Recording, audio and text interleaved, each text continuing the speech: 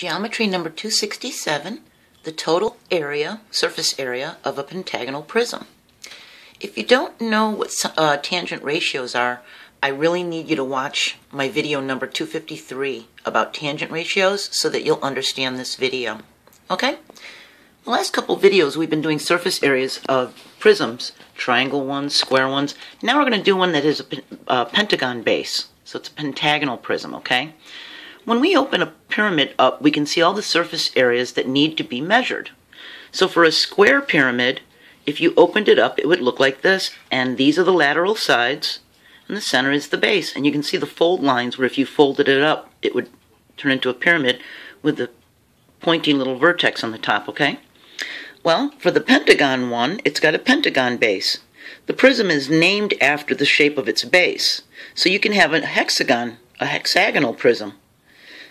This one has five sides for the pentagon. So it's got these five lateral sides like a star coming out. And if you bring them all up and you fold them on these dotted lines, you would have this pyramid with a pentagon for its base.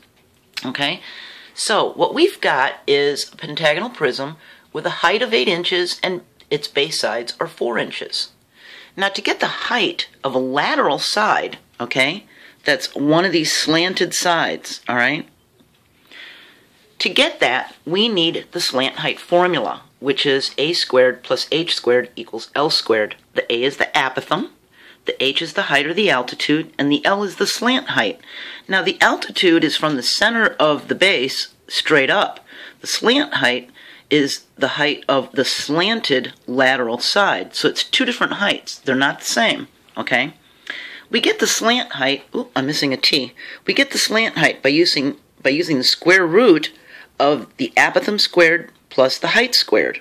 We get the perimeter of the base by just adding how much they are all the way around, okay? So if we know each side base is 4, we know the perimeter is 20, because 4 times 5 is 20. We plug the numbers into this formula of S equals half uh, slant height times perimeter, and we know that the lateral surface we know what the lateral surface area is, but we still need to add the base area to it. So before we can do this, we need to find out what the slant we need, the slant height is with the slant height formula. But before we can do that, we need to find out what the apothem is. Now, if you already know what it is, you can just plug the information into the formulas and get your total surface area if you already know the apothem, the height, and the base side length. If you don't have this information and you only have partial information, keep following me. Okay?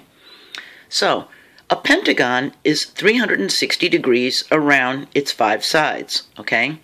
If we divide that into triangles, we can solve it easier. So 360 divided by 5 is 72 degrees for each angle. So, we would have a pentagon broken up into these different triangles. See? We got one, two, three, four, and this fifth triangle, we're going to cut it in half, okay? By cutting that one in half, we get the apothem right there bisecting that side, okay? We get two angles. Where each of these were 72 degrees, we now get two angles that are 36, okay? Now, because we get this 36 degree angle in this particular one, we now have an acute angle of 36 degrees and an opposite side of 2. Okay? Because if these are each 4, when we broke this triangle in half, this side became 2 and this side became 2. Okay?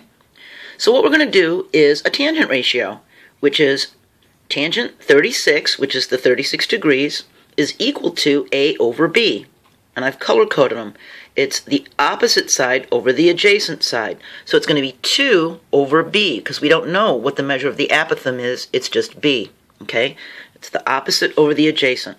So we rewrite the, the formula, the equation, to help solve it. So B is equal to 2 over tangent 36. Okay? All right, so now we've got B is equal to 2 over tangent 36.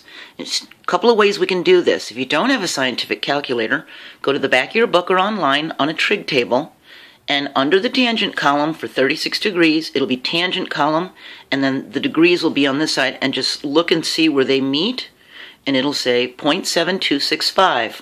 okay? We divide 2 by 0.7265 and we get a rounded off 2.75. I think it was 2.752 or something like that. I just didn't want to go too far that way. So I stopped at 2.75. If you have a scientific calculator, just put in 2 for the opposite side, hit divide, hit the tangent button, and type in 36, and you'll get the 2.75. Now, now we have our apothem. We know that this is 2.75. So now we have an angle, we have this adjacent side, and we have the opposite side measured. And we can plug this into the slant height formula. The apothem squared is 2.75 squared. The height was, I don't know if you remember, but our height was 8 inches, and that was straight up from the center up, right? Okay, so we've got 8 squared, and that's going to give us our slant height squared, okay? Well, 2.75 times 2.75 is 7.56. 8 times 8 is 64. We add these two numbers together and we get our squared slant height, okay? That comes out to 71.56. Now we need to square this, okay? It comes out to 8.45. You can do that on your calculator. There might even be a chart online or in your book. You can get square root charts online just like you can the trig table. Now we have two choices. We can go my green route or we can go my orange route. So we're going to go the green because it's right here. That's using this formula for lateral surface area. Now that we have the slant height, we can plug it into this. Now remember, our perimeter was 20 because we had five sides that were 4 each, okay? All right, it was like that. So we're going to do half times 8.45, which is 4.225, times the 20, the perimeter, okay? That comes out to 84.5. Now we know that the slant heights are 84.5. Now we need to add the base, okay? So here's how we do the base. We know that the apothem right there was 2.75, and we know that that down here was 4. Okay? Okay, I had to do a little adjustment here. Now we need to do the base. Okay? So we've got this five-sided shape, and we know that each of these are 4. Okay? Well, we know that half of this was a 2, right? This part was a 2, this, this side of this triangle. So I knew the apothem was 2.75, so I'm going to find the area of this one little side of the triangle.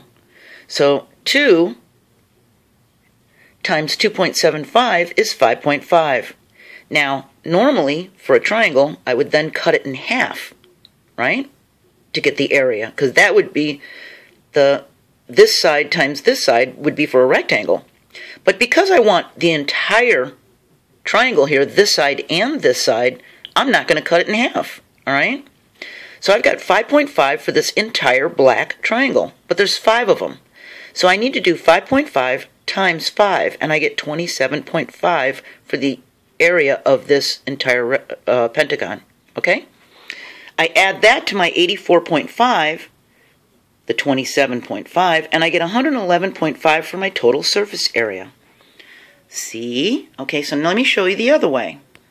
When we were here and we knew that 8.45 uh, was our slant height, we didn't have to go this route. We could have gone this other route. Let me show you. If we know the slant height right here on the side is 8.45 and we know that each of these are 2, we can go like this and do 8.45 times the 2, okay? Now again, just like for the base that we just did down below, this would be for a rectangle because we would have to cut it in half, right, to do a triangle. But we want the whole triangle. We want both sides. So I'm not going to cut it in half. I'm going to do the multiplication and keep it. 8.45 times 2 is 16.9. Not cutting it in half, keeping it so I can add this triangle. Because if you took this one and flipped it and put it right here, it would be the rectangle. So I'm going to keep the 16.9 And because I'm doing a pentagon and I've got five of these lateral sides coming up around it, I'm going to multiply my 16.9, which is one of these, by the five sides, the five lateral sides, and I'm going to get 84.5. I'm going to add the base area, which was 27.5, and I get 111.5. Now, if you look, 84.5 and 27.5 is what we got doing it this route. The only difference between that route down there and this route is in your head, you know you're adding five lateral sides and a base, and you're just doing it in a different way, see? So, that is how you find the total area of a pentagonal prism. Now, I was going to make one for a hexagon prism, but I really don't have to, do I? You could do this with a hexagon. You could do it with a 10-sided pyramid, couldn't you? So, I haven't made up my mind if I'm going to make one or not. I'm assuming my viewers are very intelligent and can figure it out from here. And we're going to talk about volume also. So I'll see you in the next video and we'll see what I figured out. Keep up the good work and I'll see you later. Bye.